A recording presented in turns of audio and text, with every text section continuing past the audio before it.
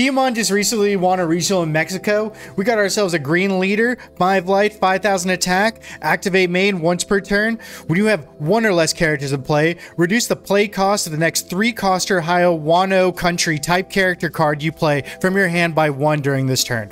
So basically what this is going to allow us to do is get our cards out for cheaper and quicker than we normally would. Cards like Okiku, Yamato, and Oden will all have their cost reduced by 1, effectively making Okiku a turn 1 play and Yamato a turn 2 play, which is a huge tempo swing. It allows us to control the board way better earlier on by having these powerful effects. And if we can get lucky enough to draw our one of Oden and get it out on 7, our opponent is going to have a very hard time coming back from those sort of plays that give us a huge advantage earlier on in the game.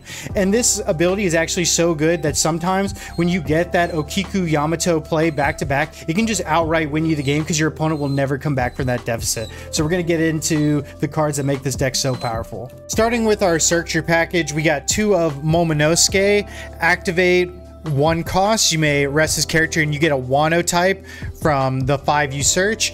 We're going to be looking for Oden and Yamato and Okiku early on in the game so we can go ahead and cheat those cards out and get our board established. And like I said in the preview section, pretty much winning the game automatically. If you can get uh, your 4-6 Yamato out on your 3 Don turn, you're doing insane. Getting out Ryzen Okiku on your 5 Don turn, all these plays will allow us to just like get this huge boost forward. And since normally decks run about four searchers, us having five searchers in total by having three Bonneys and two Momos is a viable strategy. I think some people think that maybe this deck requires all eight searchers, maybe a six minimum, but already having an abundance of searchers that uh, a normal deck wouldn't already have, I think is good enough. So that's probably why we're only running two. The rest of our searcher package is rounded out by one cost jewelry Bonney, activate main, one cost, you get to look at five cards and you get a supernova. We're basically going to be getting our X Drakes, our Hawkins, and most importantly, our kid that can just win us the game on the spot if we can put out blockers and really set up for that kid. Um, they're getting our utility cards out you know, at any given point, we might need a certain card that will propel us in the game. X Drake, if there's a big body we need to get rid of. Capone, if we just need to get a blocker out to secure the game at the end. And even more importantly, Punk Gibson, which can go ahead and get us a push through a blocker and protect us that same turn. So having five searchers total is really good. Three Bonney, I definitely agree with, considering that cards like X Drake and Kid can definitely be these sort of forces that just win the game for you but based on how much impact they have on the board. Getting into the Wano package, this is probably the best card in the whole deck, in my opinion. This 4-6 Yamato with on play, rest of your opponent's characters with a 6 cost or less. Getting this out for 3 Don and just having a 4-6 on the board that is definitely going to kill something your opponent needs. You know, whether it be Zoro, you're killing a small body, whether it be a blocker that you have to get through, or even just a five cost that or a five attack guy that your opponent played that you just want to tap down really control the board. You can punish a lot of plays with this. You know, if your opponent plays, say, their own Bonney or own Momo or anything that they need to keep up and tap the next turn, they're just not going to be able to have these effective plays where you play something and not have to defend it and Just like, okay, well, I play this, I can just wait till the next turn. Yamato pretty much taps almost everything in the game that's not a bomb. Um, yeah, the card's amazing. Definite four of. The five drop Yamato, in my opinion, is an amazing card into this meta, though it dies very, very easily. It's a very fragile card. I think in the end game against yellow and well there's no more whitebeard anymore so mainly in a yellow world you want to have this card to close out the games your opponent is not going to have an answer to this late game even if they have the thunderbolt they're going to run into the problem where they need that thunderbolt to push through your blockers so it's either they try to just kill this at the end of the game and probably die anyways or you know, just like at the end of the game, they're not going to have anything to deal with this. And also, Yellow likes to stay healthy, so they're going to have more than three life. So when you're basically just able to destroy their whole game plan with this per se, you know, get rid of all their blockers, any sort of trigger that can cause you any sort of malice on that final push, this Yamato just shreds through it. And I think it's just a great uh, choice in the 4.5 meta where there's going to be an overabundance of Katakuri. This is a automatic four of like I don't think there's a reason to have less. Another strong addition to the Wano package is the 3-4 Raizo. When attacking once per turn, if you have two or more rested characters, draw one. So if you have one rested character and you attack this Raizo, you get to draw a card.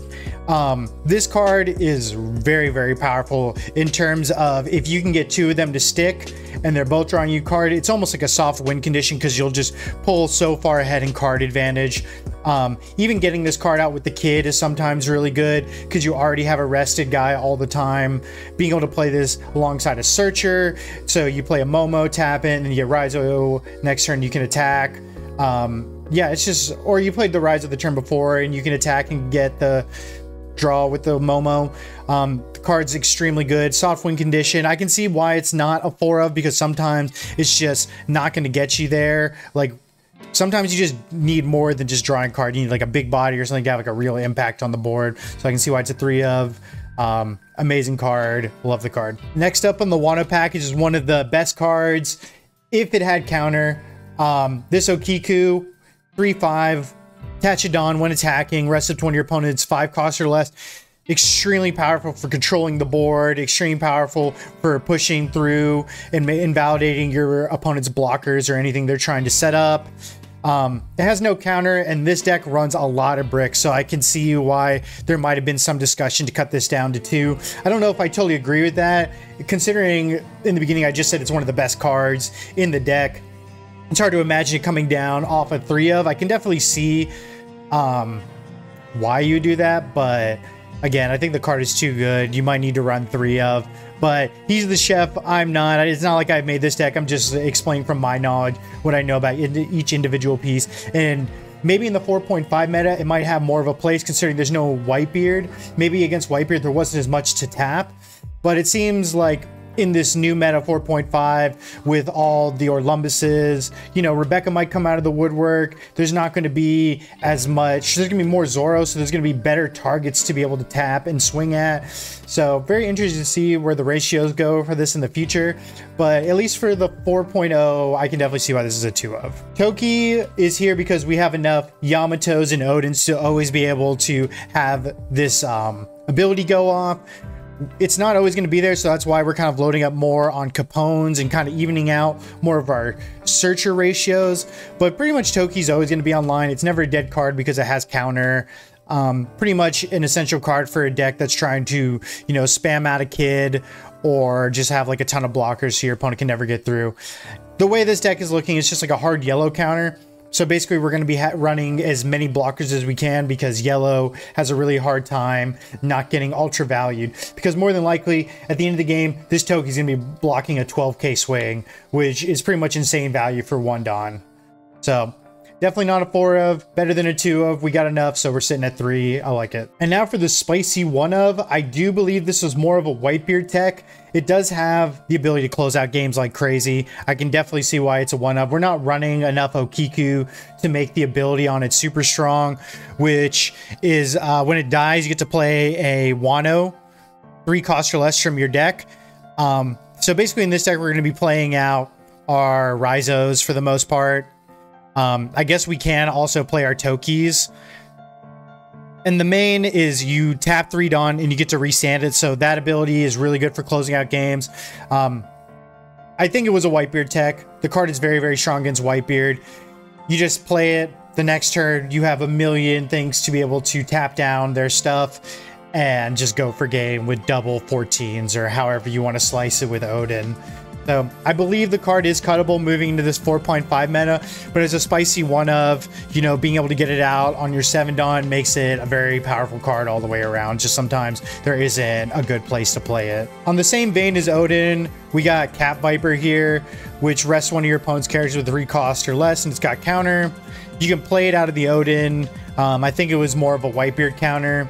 You know, just like tap down those chump blockers that are in your way moving forward, I don't know if there's going to be as many chump blockers that are going to stop you from going for game. Um, maybe with the rise of Croc, and if Rebecca does see more play, um, I'm not seeing the value there to really tap the chump blockers. Maybe you keep two in to get through the, um, what you call it, the 3-1 blocker from yellow. For some reason, I'm totally spacing on what that card is, but I'll probably like edit it in. Like, oh, Brule. I did remember it last second. So maybe you just do this to counter a Brule out of life when you're getting that last push for game. But I do think this is also a cuttable card for something else that maybe can have a little more impact. There's just not a lot of three costs or less that you're trying to tap down. And we haven't really seen the landscape of the 4.5 yet, so it's still up to debate whether this card actually can hold a spot at 2 of. Final card of the Wano package is just our 2K, one of the best 2Ks in the game on play, rest of your opponent's character for cost or less. Not only a 2k can just easily help you push for game. There are very little counter, or there's very little blockers in this game that are above a 4 cost. So it's hard to imagine this card not getting its full utility value when you do need to play it. You're basically getting full counter value, and it's there to just like be that sneaky little push you need to tap down a Marco blocker, to tap down an Uta or any sort of block you need to go for game, you know, automatic four of, and that rounds out the Wano package. Just because we're on the veins of 2K, to start at our Supernova package, we're working on the Scratchmen Apoo. We're never using its ability. I'm not even going to read it. It's just a 2K counter. I've literally never seen this card played ever. If somebody in the comments wants to tell me the one time it's good, you know, maybe somehow it's going to win you a game, it's a searchable 2K counter, so not much to say there. Basically, a lot of our supernovas are going to be blockers. We're going to start with this killer that with one Don on block, if you have three or more characters, draw one card. The card is amazing at the end game when you're playing it with your kid. You're comboing this with your 8 cost kid, which I should probably get to next just for the sheer fact that the rest of the cards that we're going to be looking at, and a lot of cards we even looked at before, are all going to be comboing out with our 8 cost kid and just trying to build that wall that they cannot get through. You know, between basically our game plan is we're stalling out our opponent as much as possible. We're trying to get that early game ramp to put pressure on them and then we put them in a position where they have to figure out how to stabilize and deal with a very large board. So as many things as we can get to stall them out and make it so they're just not able to answer the force that we put forward it's basically like a big wave that they're just not able to stop. And this killer helps us get more firepower at the end of the game to continue our assault forward and just keeping our 8 cost Kid alive. So automatic automatic four of, we gotta have it. To continue with the blockers, we have three of these Capone Beges. We're just playing this along our 8 cost Kid to make just like a giant wall. We're going back to those OPO one days where it's defend the tower. Play the 8 cost Kid, defend the tower. Um, it's great for stalling out the game. We're always playing it out we're basically never playing this out early for the most part. We're saving, we're trying to collecting these in our hand, and then in the very end of the game, we're just spamming out blocker after blocker after blocker, and our opponent's like, oh, how does this guy have so many blockers? It's because we've been saving them all game, and they just won't have enough attacks, especially in the yellow, where they're only playing out one guy at a time. They're never gonna have enough attacks to get through all this. And now to the ultra sauce here. We got two of the eight cost kit. I think this could even be a three of but we attach a Don to it. If this character's rested, they have to attack into it. Doesn't matter if it's a, a Luffy that can play block or go under blockers or whatever. And the second part of it is activate main once per turn. You may rest it, and then you can play a three cost or less from your hand. That ability is insane. You're basically able to get out three blockers potentially. You could even spam out a whole line of blockers. You know, you're playing eight cost kid, you're attaching a Don, you have one Don left. So you go use the ability, you play out a blocker, and then you can play out another blocker. So basically, you cannot be killed that turn unless your opponent's running something to shrink the kid to a smaller amount of attack so they can get better attacks through. You're essentially getting the Whitebeard 8k leader out of this with blockers attached to it. The card is amazing. We have three Bonneys to get this card. If we have this early, our whole game plan is revolving around getting it. For the most part, the way you play this deck, if you're not going for a different win condition, is that if you see the line to play to this 8 cost kid and it is actually game winning, you will win that game. If you're playing a deck where the 8 cost kid line is good and you have the support for it, it is an extremely winning line. And for that, I say this card is almost a 3 of, but you know, I'm not I'm not the chef here. Maybe it's an OPO 4.5 meta, but the card's amazing. I've been this card has been breaking hearts and making the game not fun since OPO 1. Kind of skipping around a little bit here since we're on the topic of bombs. We got the 1010 Doffy here from OPO4 on play. A total of three of your opponent's rested characters cannot become active during your opponent's next refresh phase. So we're choosing this as our main bomb we're running more because we cannot search it with any of our searchers, so we're hoping to naturally draw this. The reason the fact that we can't search this is kind of the reason why I'd opt to maybe play like another kid or make this less likely because it creates less consistency in the deck. But the card is so strong for winning games, I don't see a reason not to run at least two of them, considering our deck is kind of stall and then just keep repeating the bomb strategy we're getting bomb after bomb after bomb. Because the Doflamingo can just win the game on the spot especially two in a row, your opponent is just left helpless unless they are actively playing around it. And if they are playing around it and you decide to go the eight cost kid route, it's just effective, just the presence of it, you know. You're using, you can use it to discard at some point for I guess there's no discard in this deck, so you're not discarding anything. So maybe I'll cut that part out. Probably just leave it in. But anyways, back to back, this card can just outright win you the game. It's not a four because sometimes it is too slow to get you there. But luckily, the game plan of our deck This keeps stalling. So hopefully we'll always get there healthy enough to be able to play this uh, 10 cost Doffy when we need to. So I think it's a two of. I want three eight cost kids, but you know, it's a new meta, so they'll be experimenting. I even doubt that the person that made this deck, uh, Mr. David, will keep these exact same ratios moving into a new meta. Back on topic with the Supernovas, we got an two of these X-Drakes on play, KO one of your opponent's rescue characters for cost or less. I think this card is amazing in this deck. One K counter, so it like never is a dead card in your hand. Sorry, I did like check and make sure it had counter before I said that. And basically, if you can get the ability off smoothly, you know, a lot of times your opponent's going to be swinging with a character, say on the turn before, and you can kill something with it. It's a very nice tempo swing. Your opponent's thinking, oh, well, I'll be able to defend this character. And then all of a sudden, it's just wiped off the board a lot of times you're not getting the full value. I can see how this is very matchup dependent. I think moving into 4.5, this card might see more play because I think we're going to get into a very swingy meta where we're not really like setting up our board too much. We're just trying to get the damage when we can so we can actually put our opponents in a position to kill them in the end game. So maybe it can be moved to a three of, but right now I think two of is a very solid amount. When the card is good, it's very good, but if you're not getting the ability off, it's definitely mid. Moving into our last Supernova character in the deck, we have the Spicy One of Basil Hawkins, a 5-6. You attach a Don to it, and when you attack your opponent's characters, you get to attack again. It has no counter, but I do think that this card might see a rise in popularity due to the fact that in a 4.5 atmosphere, we probably will see more kid in the meta, which means more 8 cost kid. And this card is very, very good into 8 cost kid. And it's very good into an atmosphere where we want to win the game from the board. So basically, in a yellow world, this could also be very good because now we have a way to make sure that some of these larger bodies actually do die. And I'm talking about like maybe we need to kill a Katakuri or a 7-8 mom and we're able to go at it cleanly 10 two times without any extra Don commitment. That's going to be very tough for our opponent to want to be able to pitch four cards to try to save that. So I think moving away from more, uh, I guess, clearance oriented. Unless we see a huge rise in Rebecca, I don't think there's going to be a lot of ways to cleanly clear this card. And also, we're only running a one of and max it a two of, so I don't think we're ever worried about getting too bogged down with this card. I wish there was a way to filter our hand a little more with this deck so we didn't run so many bricks, but we are running a very greedy version, and maybe moving as 4.5 meta will be able to stick with this greedy version because we're not worried about getting rushed down so much or having a world where we're like, oh, we don't, if you don't have these answers early on, you might just die. And our final card, searchable by Bonney, we got Punk Gibson. I know a lot of people's most hated and favorite card in the deck. Basically, you leave two Don up, it's a counter.